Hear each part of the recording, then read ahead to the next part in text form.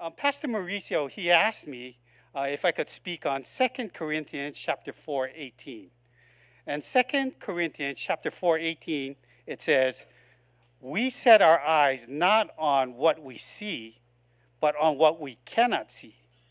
What we see will only last a short time, but what we cannot see will last forever.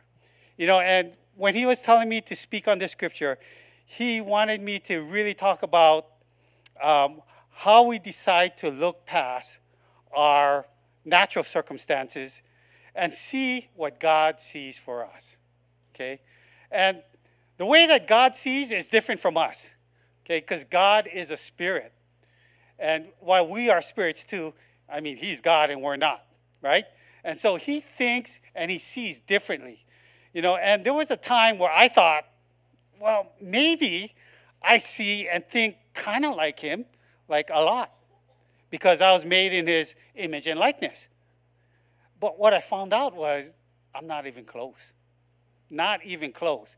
It says in Isaiah 55, verses 8 and 9, For my thoughts are not your thoughts, neither are your ways my ways, says the Lord. For as the heavens are higher than the earth, so are my ways higher than your ways, and my thoughts higher than your thoughts. And that's really true because you think about it, he multitasks every single day. He listens to all of our prayers, right, at the same time, and yet he has time to make sure the sun comes up, the moon comes up, the ocean um, tides go in and out, the winds blow, all these different things, and he's doing it like clockwork, and he can multitask millions and millions of tasks. He can see into the future. As soon as Adam and Eve fell, he already started to create a plan hundreds and thousands of years in advance. I, I can't even think what I'm going to do tomorrow, right? And I, I can't even read my wife's mind. And so, you know, God is so much bigger and he thinks on a totally different level. Okay? But just because he does that, that doesn't mean that we cannot tap into the way he thinks and sees. Because that's what we're supposed to do. As you grow in your Christian maturity, part of what you are called to do is to learn how to think, how to understand, how to see how God sees. You know, and the ways that he talks to you is totally different than what a lot of people think. You know, a lot of times his communication styles are different. Take, for instance, uh, visions and dreams. Okay, like I know everybody here, you guys have had dreams, right? But sometimes you have funky dreams, and it's not because you ate pizza late at night. But you have a dream or a vision and you think, wow, that was really, really strange. What, what is that all about? And then you just blow it off and you go, well, I, I can't understand it, right? But you know, there's books that you can read about how to interpret your visions and your dreams. And so I started to read some of these books. And for me personally, I remember one dream where I was driving in a fast car. It was a very, very beautiful red Mustang. And when I first got that dream, I knew God wasn't going to give me a red Mustang. Okay? But what it meant symbolically to me was that God was expediting me to another level. Okay? And that's how you interpret dreams sometimes. And so when God talks to you, you have to know how to interpret. You have to know how to understand what He's saying to you. Because He wants to talk to you all the time. You know, and Moses, um, he's known as a great leader. And in Psalms 103, verse 7, this was a psalm that was written by King David. It says, He, God, made his ways known to Moses and his acts to the children of Israel. Okay, so the children of Israel, they saw all their acts, but Moses understood why. And you think about that. You know, the children of Israel, when they were coming out of Egypt, they saw all these miracles. They saw the plagues of the frogs and the lice. They saw darkness. They saw the Nile turned into blood. They saw all these things to deliver them. Then they saw the Red Sea open up so that they could cross over. They saw manna on the ground that they could eat every day. They saw multitudes of miracles. But what did they do? Even though they saw all these miracles, they kept complaining. Why? Because they didn't understand his ways. They saw his acts, but they did not understand his ways. And Moses is a great leader because the Bible says right there, he understood God's ways. Okay? So if you want to see, if you want to know what God is doing, you have to understand how he moves. And that's what I want to talk to you about today is how do you go about doing stuff like that? So the first thing that you have to understand in this whole process, right, is that God never changes. In Hebrews, it says, Jesus Christ the same yesterday, today, and forever. So God never changes, okay? And we are called to be like Him. So if He never changes, guess who has to change? Us, right? But here's the problem we don't like change. And I know it because you go to any office, anytime they update the Windows operating system or the Mac operating system, you hear it all over the place, right? Why, they, why do they have to change the system? I like the way it was. Now I have to learn all over again. Or your kids, when they're going to a new school, they say to your parents, I don't want to go to a school. I, I like the way it was. Why do we have to change? Right? And you older people, you, you buy a new TV and you don't understand how to use the controls. Right? And you go, why do I have to change it all the time? And you give it to your kids and you say, figure it out and then teach me. right? We just don't like change. But the simple fact is, God is saying that's part of our DNA. That we are supposed to love change. We're supposed to love change. Okay? And but when change happens, there's a certain pattern to it. Okay? The Bible says in Ecclesiastes chapter 3 that there are different seasons. There is a time to sow and a time to reap. You know, there is a time of war, a time of peace. There's a time of scattering and a time of gathering. There's all these different seasons. And you have to change with the seasons. Okay? Like right now, a lot of you, you're wearing coats, right? Because it's cold. But you're not going to be wearing coats six months from now. Nobody, I mean, I hope that you guys are not wearing coats six months from now. But what you have to understand is in different seasons, you have to do things differently, right? But some of us as Christians, what we think is, I'll just do the same thing all the time. And then you wonder why, why it doesn't work. It's because you don't understand you're in a different season. So you have to be conscious of the season that you are in so that you can change what you need to change. Okay? Because everybody goes through seasons. Now, there are many different seasons for Christians, but I want to talk about two seasons in particular that uh, we all go through. And I call them mountaintop experiences and valley experiences. On the mountaintop is when you have great success, when you have victory, when you're just experiencing the goodness of God and you just take it in. God doesn't want you to press in harder and try to learn things. All He wants you to do is just enjoy the victory, enjoy the scene, enjoy the blessing of God. And there are times when you're supposed to just literally kick back and just enjoy His goodness, right? But guess what? You can't live there forever. Because, like the mountaintop, like Mount Everest, okay? If you go to Mount Everest and you're on the, the top, there's no oxygen there. Okay, you can't stay there forever. You'll die. You can't grow anything there. Life does not exist long term on the mountaintop. It's meant for you to enjoy for a season, but then you have to come back off the mountain. Okay? So the other season you have is the valley. Valley is where you do all the life. That's where all the water is. That's where they grow all the crops. That's where you do all the hard work. That's where the problems are. That's where the challenges are. And sometimes we don't like it. We don't like the challenges. We don't like the problems, right? And so when we go into the valley, we think, oh, what am I doing here? Why, God, what's going on? And we don't understand how to do life in the valley. Okay?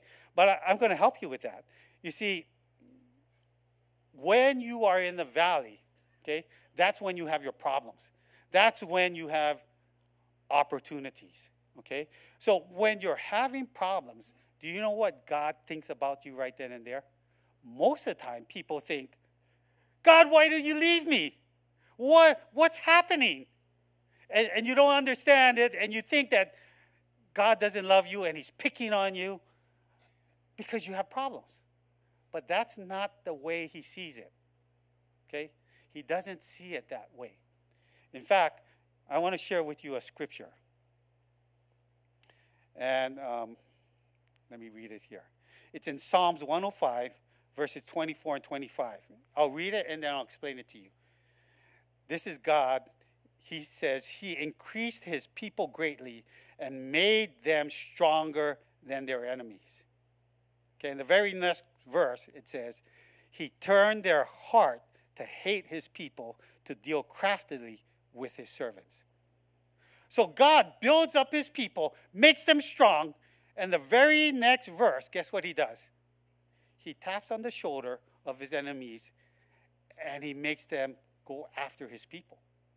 Well, that's kind of strange, right? Why, why would God do something like that?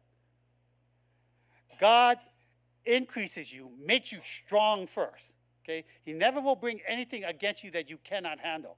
So he's going to make sure that you're strong, you're capable, you have every chance, every ability has been given to you so that you can overcome. He does that first. That's what it says in the first verse. Okay? So he strengthens you. Once he strengthens you, now he tests you and he brings opposition. Why does he do that? Because we are called overcomers, right? You can't be an overcomer if you don't overcome something. And God calls you an overcomer. And when you overcome, you get the blessing. And you go back to the mountaintop. And you experience the, the peace, the joy, the goodness of God. But you have to overcome to get to the next level. So when the problems come, all it means is God is saying to you, You, my man, I believe in you. I think you can do more than what you think. I think you are strong and you are victorious. So God is bragging on you. God is saying, You can do it. That's what He's saying. So when troubles come, all it means is you're about to get upgraded. But what you have to do in this time is you have to press in. You have to have the ability to hear what he's saying to you. That's, that's where most people miss it. When you have a problem, a lot of people complain instead of pressing in into saying, God, you made me to be an overcomer, so now what do I do? The, the thing about living in the valleys is that's when you're going to get, if you push in and you really try to hear his voice and you want to see what he says to you, that's when he's going to reveal secrets to you that have never been revealed before. I believe that there are secrets that have never been given to mankind yet. But some of you in this room, if you will press in, God will give you the secrets that have never been revealed. That's how we get things like inventions, right? Because God will gift that to someone. And, and it's not just inventions like a, a smartphone. I mean, it could be witty things like how to stop human trafficking, or how to stop poverty, or how to take over this entire city for Christ. God will give you secrets that have never been uttered before. But you have to press in. You have to press in. You have to ask God, God, okay, I'm experiencing this, but it's because you are trying to get my attention so I can get the victory. So, what do I need to do? So, that's the key. Whenever you have a problem, Okay, if you're not in total just, you know, sin and you know you're in sin, if you are, you just repent and then you're back on track. But if you're not and things are happening to you, that's when you have to press in. And you have to say, God, I need to hear your voice. Okay? And like I said before, there are many different ways where you can hear the voice of God. Because God talks in a lot of different ways. Because when I was when I was studying this, God talks to I mean, there's over like 13, 15, 18 different ways that he talks. And a lot of them are not verbal. Okay? If I were to ask this entire congregation right now, how many of you have ever heard the audible voice of God? Okay? And you'll hear, you'll see a couple of people raise their hand. But for the vast majority of us, we've never heard it. Right? So you know that God talks in different ways. And so I want to share with you one of the ways that you can position yourself on a daily basis so that you have the opportunity to hear him more clearly. Okay? And so I'm going to show you this one video right now. And I'm going to preface it by saying this is a lady. Her name is Candace Payne. I don't know if you've ever heard of her, but she's kind of famous. But she was a worship leader in her church. Okay? And she's a mom, she has kids. And one day she uploaded this YouTube video and she just did it because she thought it was funny, right? She uploads it, she goes to bed, and the next day, when she wakes up, she finds out there's 20 million views in one day. It's the Guinness's World Book of Records of most views in 24 hours. Okay? So I'm just going to let you watch it, and then we're going to talk about it after you watch it. Okay, so this is what I got. Once again, this is for me. Not for Duncan, not for Cadence. I mean, I'll let them play with it. I'm not a bad mom. I'm not a jerk. But in all honesty, at the end of the day, it doesn't go in their toy box. It goes in my room. So here we go. I gotta take off my glasses for it. oh, naturally. Okay, here we go. So, yes. Now watch when my mouth actually moves.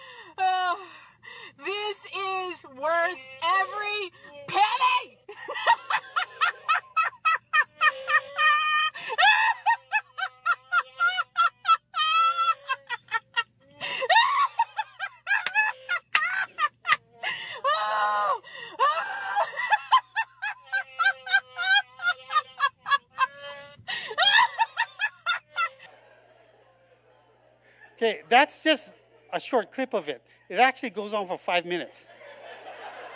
Okay, she laughs like that for five minutes. Okay, why, why am I talking about this? Because the joy of the Lord is your strength. Okay, the joy of the Lord is your strength. People watch this and they invited her on, you know, like Good Morning America, all these big shows, and people out there, the non Christians, they, they just couldn't get enough of it. They couldn't get enough of it because they don't know about joy. They don't know about joy. But in Romans, okay, this is what it says The kingdom of God is not eating and drinking, but righteousness, peace, and joy in the Holy Spirit. Okay, think about that again. The kingdom of God is not eating and drinking, but righteousness, peace, and joy in the Holy Spirit. This is the kingdom. Okay? When you hear a scripture like that, it's huge. It's telling you this is the characteristics of God. God is righteous, He's peaceful, but he's also joyful. And so many times as Christians, we talk about doing the right thing, right? That's righteousness. We talk about the peace of God that passes understanding. But we normally don't talk so much about joy. But joy is really part of God's own character. It's actually part of his character. And if you are a Christian and the Holy Spirit lives inside of you, you actually have the ability to function in joy. Okay? So it's not that you can't do it. Some of you might not do it because you might be rusty. But joy is one of those things that will attract. It'll be like a light. It'll attract other people in. Okay? And not only that, but joy unravels many different keys for you. Okay? Because have you ever heard of that, that phrase, blind rage? Okay? When people get so angry that they can't think straight. You could talk to them logically and they won't understand a word you're saying, right? They, they just can't. The same thing goes for joy. When you are functioning in joy, all of a sudden you have the ability to hear God. You're positioning yourself so that it's easier to hear God because it's part of His nature. Because when you're functioning in joy, you are not thinking about yourself. When you're functioning in joy, typically what you're trying to do is you're trying to be a blessing to someone else. And so there's nothing that you're thinking about yourself. You're just thinking, how can I be a blessing to someone else? And joy has to be intentional because the Bible says that joy lives in us, and yet so many of us don't experience it on a regular basis, like every single day, that you have to wonder why. It's because we're not intentional about it. And so you have to create an intentionality about joy. So that's something that I try to do. Like in Thailand, I, I train a lot of our Bible school students. And when I go around and I talk to them, I used to just go and ask them, How are you today? And like a normal um, young adult, they'll tell me one word fine. Right? One word, fine. And then they'll try to walk away. Just like my son, when I ask him, How are you? Fine. Right? Because boys don't talk a lot. But I didn't let them off the hook because I knew that's, that's the standard answer. I mean, if you were to go to someone right now and you go, hey, how are you doing today? You would think nothing of it if they told you fine, and then you say, okay, and then you just walk off. But I don't let our kids off that easy. So I would start to ask them, what percentage are you fine? Give me a number between 1 and 100. And then they would say stuff like 50%. Okay? If you tell me 50%, you're not fine. Right? And, and then they start to catch on. So what would they say? 100% every day. 100%. Right? It's like saying fine all over again. So then I would ask them, why? Why are you 100% fine? And then they would have to come up with an answer. Right? But as I did that to them, guess what they would do to me? they would do the same thing back to me, right? But now, I would do it to a lot of different students. But can you imagine if all those students did it back to me? Now I have to answer that question like 40 times a day, right? So I created a system to help me walk in joy. Because now I couldn't tell our, our, our students, oh, I'm fine, and not be fine, right? And so it's a way to be intentional. And so I would say, a thousand percent, a million percent. You know, and they would always ask me why. And then I would have to come up with different answers every single time they answered me that. So I had to have like 40 different answers every day. But what it does is it helps you focus on how do I be a blessing to others? How can I do this on a regular basis? And you know, there's actually studies done on this. And there's this book called The Happiness Advantage. And it's a secular book. It's written by this guy, Shawn Achor, and it was a New York Times bestseller. And he was a teacher at Harvard University. And uh, he was a professor of positive psychology. And when he first started his classes, he thought nobody would come. Over 10% of the entire student body at Harvard came. Do you know why? Because they're not happy. They're not happy. Because you know what's the first thing that they tell these guys when they come in on the orientation to Harvard University? One of the most prestigious universities in the entire world, right? The first thing they say to them is, You are the top of your classes. You are the top 1%. And congratulations on coming here. But let me tell you one thing from now on to you graduate, most of you in this class, you'll not even be average. You won't even be average. 50% of you will be below average. And for them to hear that for the first time, they got psychotic, right? That's why they're at his class. So, one of the things that he found out was a myth that people think that um, when you are successful, it breeds happiness. But what he found out in doing his research, he found out that happiness breeds success. It's the opposite of around. Happiness breeds success. And happiness is different from joy because happiness is based on external things like if somebody gave you a new car, you would be happy, right? But joy is internal. Joy is something that no matter what happens, you can have it in here. And nobody can take it away. And so joy is actually more powerful than happiness. So when you function in joy, you actually have the ability to become successful. And nobody can take that away from you. God wants you to be successful in everything that you do, but you have to learn how to function in joy. Okay? But, you know, me telling you, be joyful. I mean, you know, how long is that going to last, right? I mean, honestly, you might you might be able to do it like maybe a couple days, right? To be intentional about it. Um, but you know what? There's an easier way. There's actually an easier way. But joy is a sacrifice. Because that's what it says in the Bible, and I'll read it to you. It's in Psalms 27, verse 6, and it says, And now my head shall be lifted up above my enemies all around me. Therefore, I will offer sacrifices of joy in his tabernacle. I will sing, yes, I will sing praises to the Lord. Joy is a sacrifice, it has to cost you something. Okay? If it doesn't cost you something, it's not a sacrifice. So, you just have to understand you have to be intentional. It's going to cost you something, but there's a way that's that's easier to go about doing it. Okay?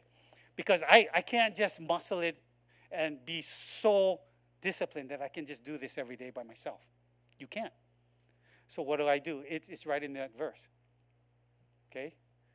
I will sing praises. When you praise the Lord, when you worship God with all your heart, with all your might, with all your strength, when you worship Him, all of a sudden, joy fills your heart. That's why it works so well here. When you come for praise and worship, don't you feel better right after we sing? Joy fills your heart. Okay? But guess what? You don't only have to do it on Sundays. You could do it every single day. Every single day. And and honestly, maybe some of you are struggling with your Bible reading.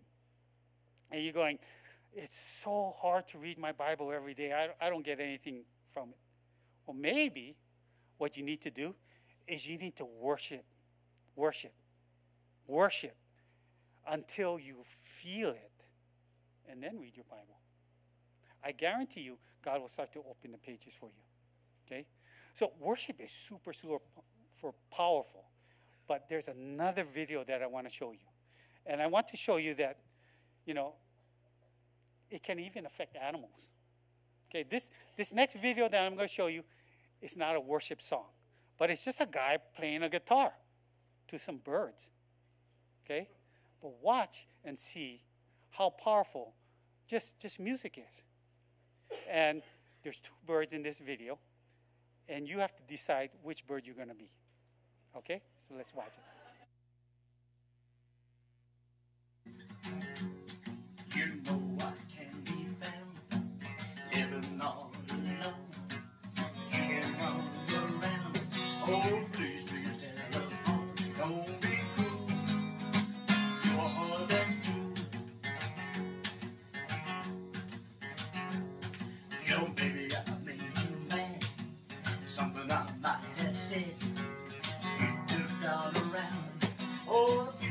Bright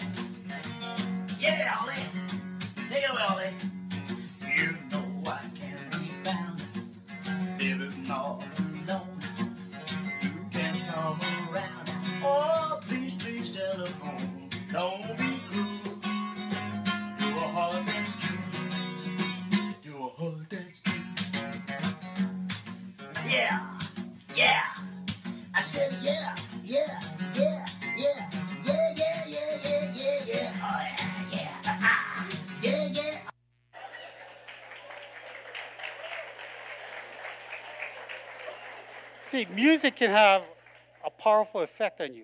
And so when you worship, use music. But the, the thing is, engage God in your worship with all your heart. It doesn't mean that you have to, you know, jump up and down like that bird, but do you connect with God on, on a level that your heart connects with Him? See, when your heart connects with Him, all of a sudden, that's when your ability to hear just opens up. It just opens up. Some of you, you say, well, you know, I want to function more in the gifts. Like maybe you are pursuing the gift of prophecy, okay?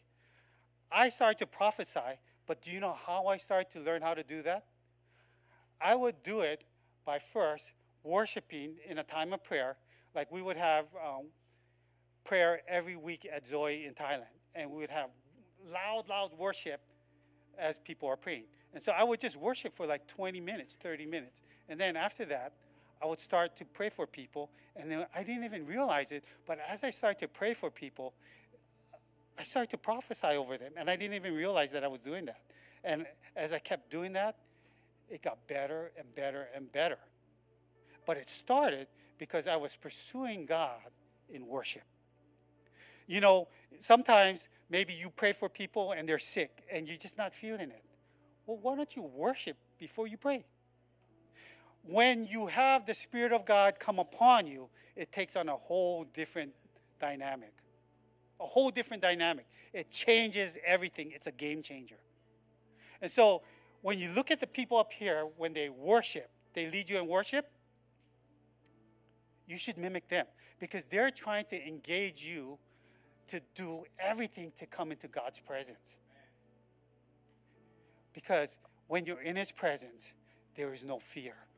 When you're in His presence, there's no darkness, there's no depression, there's nothing except peace and joy and love. And when that flows out of your heart, nothing is impossible. And you will hear Him clearly. And you'll know what to do. And if, if He tells you to do something hard, you'll just do it. Why? Because you're joyful. It's easy to be obedient when you're joyful. So you strive to live a life of worship.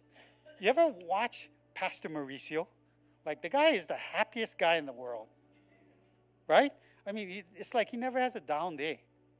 Isn't it any wonder that this church is growing by leaps and bounds? Because he practices what I'm just telling you. He's filled with joy, and God speaks to him. But you know what? That's what he wants for each and every one of you. He wants you to be successful. He wants you to be filled with joy so that you could be a light that's, that's set on a hill that cannot be hid. That it will attract so many people that they'll just say, What is it about you? How can I know God? Because you are the one who's being the light.